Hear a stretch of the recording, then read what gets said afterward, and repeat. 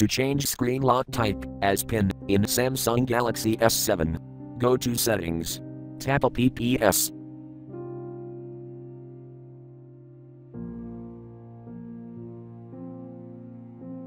Tap Settings.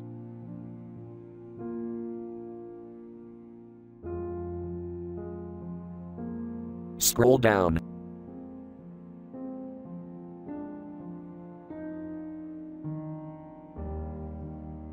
Tap lock screen and security.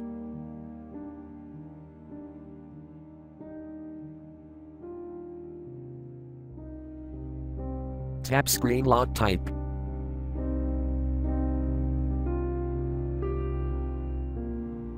If you have previously set up a different type of lock, you will be required to enter your credentials.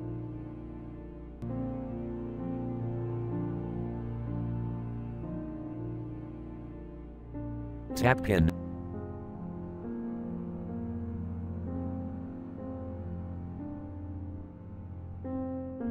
Enter PIN you want. PIN must contain at least 4 number.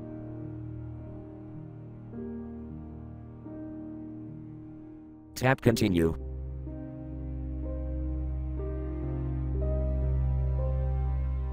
Enter the PIN again to confirm.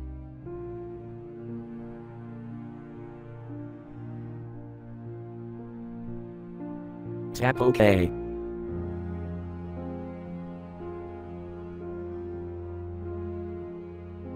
You can add extra security to your device by adding your fingerprint.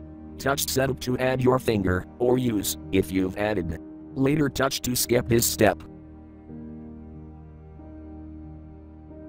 Thank you for watching, have a nice day.